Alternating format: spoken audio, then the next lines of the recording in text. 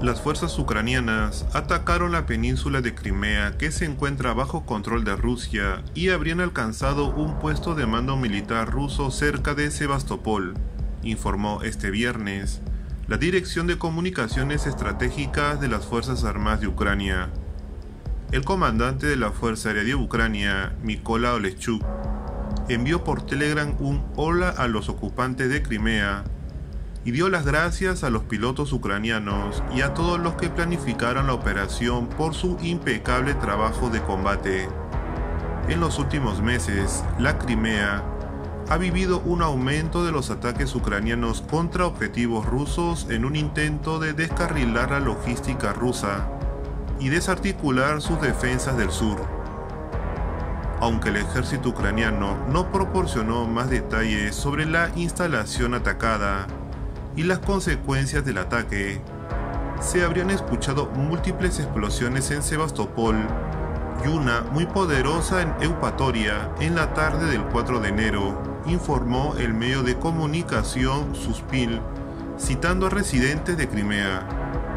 Por su parte, el Ministerio de Defensa de Rusia informó que sus fuerzas derribaron 10 misiles ucranianos sobre Crimea. Asimismo, Mikhail Raznokov, jefe del Regimiento de Ocupación Rusa de Sebastopol, calificó el ataque como el mayor de los últimos tiempos, según recoge el de Kiev Independent. Según Raznokov, restos de misiles cayeron sobre una casa cerca de la orilla del mar e hirieron a un hombre, así como en otras partes de Sebastopol. También el canal local de Telegram Crimean Wind escribió citando a lugareños que uno de los misiles alcanzó un puesto de mando ruso en Sebastopol y otra instalación militar rusa cerca de Yevpatoria. Por otro lado, las autoridades de Belgorod, una región rusa fronteriza con Ucrania, propusieron este viernes evacuar a los habitantes de la capital que lo deseen tras una serie de intensos bombardeos ucranianos.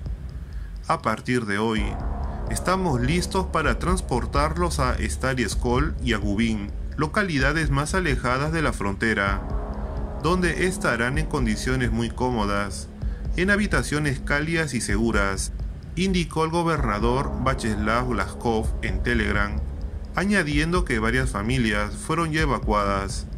Las autoridades rusas también decidieron prolongar las vacaciones navideñas de los escolares de esa región hasta el 19 de enero, debido a los ataques de Kiev, que se han intensificado en los últimos días.